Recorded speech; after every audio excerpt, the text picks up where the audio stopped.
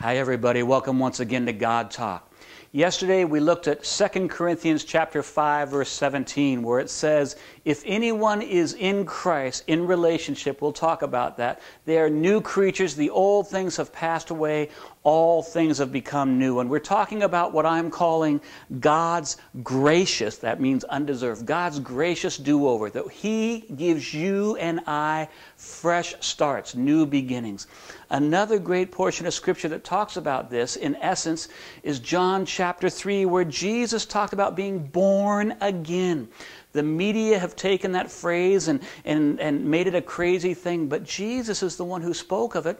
And of course, Nicodemus, when Jesus spoke to him, he said, um, How can a person be born again? And Jesus, in essence, said, Nicodemus, I'm not talking about a physical birth. I'm talking about an internal birth, a spiritual birth, a fresh beginning. So here's what I want to do as we talk about new beginnings in Christ, I want to start a bit of a dialogue. I'd love to hear a little bit of your testimony of what God has done for you.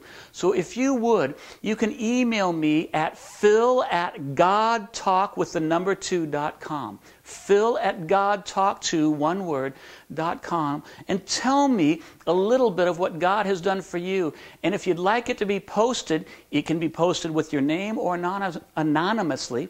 Let's do it. So until tomorrow, God bless you.